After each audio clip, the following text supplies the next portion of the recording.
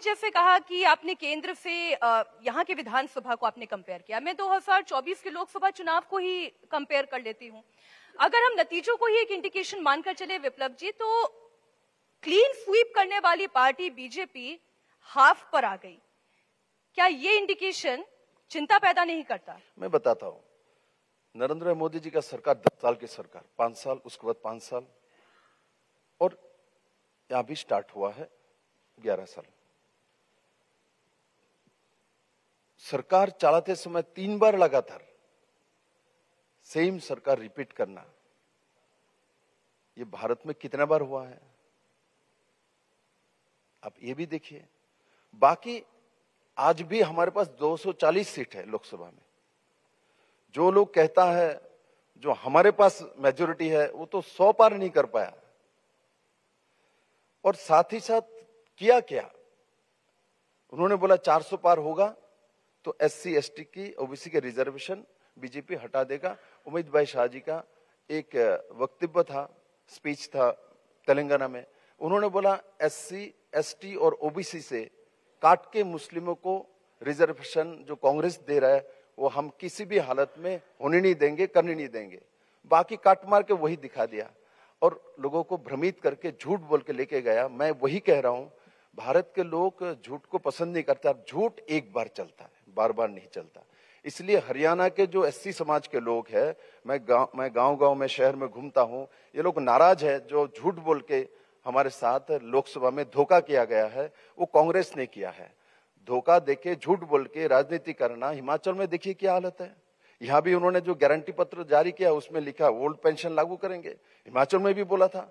आज कितने साल सरकार हो गया, सैलरी नहीं दे पाता हिमाचल में। यह हालत है। वहाँ के मुख्यमंत्री अपने मंत्री परिषद के साथ आके मीडिया के सामने बोलता है, हम तो अपना सैलरी छोड़ देंगे। अरे बाबा, सैलरी छोड़ तुम्हारे सैलरी से ओपीएस कैसे दोगे? तो ऐसा कमिटमेंट जनता के सामने झूठ बोल के आना, झूठ बोल के राजनीति करना कांग्रेस का स्वभाव है। लेकिन सर, वो झूठ चला भी तो। ये बात तो आप मानेंगे कि झूठ अगर दस बार भी बोला जाए तो ग्यारहवीं बार तो यकीन करने का मन करने लगता कहीं ऐसा तो नहीं, ये सच है। एक ऐसा ही नरेटिव किसानों को लेकर भी हरियाणा में चलाया जा रहा है। पंजाब और हरियाणा, ये दोनों ही राज्य ऐसे हैं जो कि किसान प्रतिनिधित्व के राज्य कहे जाते हैं। एक नरेटिव तब भी चलाया गया कि ये पार्टी किसानों के खिलाफ है। देखिए, हरियाणा में जो सरकार है, मैं गर्व के साथ कहता हूँ, हमारे नायब सिंह सनी जी ने जो चौबीस फ़सल में एमएसपी दिया है, कांग्रेस के नहीं इंडी गठबंधन का किसी भी स्टेट में इतने बड़े एमएसपी बड़े संख्या में नहीं दे पाया। सबसे ज़्यादा महँगे रेट से कोई भी फ़सल खरीदने वाले सरकार तो हरियाणा में बीजेपी सरकार है। आपका फ़सल खराब हो जाए तो पार एकड़ दो हज़ार रुपए का देने का व्यवस्था हरियाणा सरकार ने किया है। सबसे ज़्यादा जो हमारे किसी डिजास्टर के कारण फ़सल खराब हो गया तो सबसे ज़्यादा मुआवजा भारतीय जनता पार्टी के सरकार, चाहे मनोहर लाल जी का हो और नायब सिंह सनी जी का हो। वो दिया है। तो किसानों के लिए सबसे ज़्यादा काम करने वाला जो स्टेट है, वो हरियाणा के भारतीय जनता पार्टी के सरकार है। हरियाणा के किसान जानते हैं। चौडोनो जी अभी इलेक्शन लड़ रहे हैं, जो कि किसान आंदोलन करते थे। उन्होंने एमएसपी देने के बाद उनका स्टेटमेंट देख लीजिए, उन्होंने तारीफ़ किया। देखो हमारा बीजेपी सरकार ने और मुख्यमंत्री जी ने ये किया, एक किसान के हित में हुआ। हमारा डिमांड था, वो कहता है, वो लेना था श्रेय, जो ये हमारा डिमांड था, देखो आज पूरा कर दिया। तो वो करने वाले, कुछ लोग बोलने वाले, कुछ लोग हैं, करने वाले भारतीय जनता पार्टी, जो किसान हो और महिला हो और युवा हो, करने वाले हैं।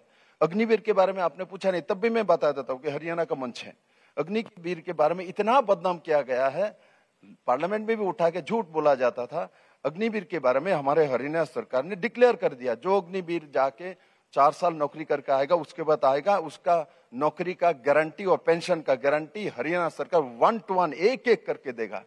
क्या कांग्रेस के सरकार में, क्या कर्नाटक में हुआ, क्या हिमाचल में हुआ, क्या इनके किसी सरकार ये बोलता है ना किसान के लिए कोई कोई स्कीम देता है, ना महिला के लिए देता है।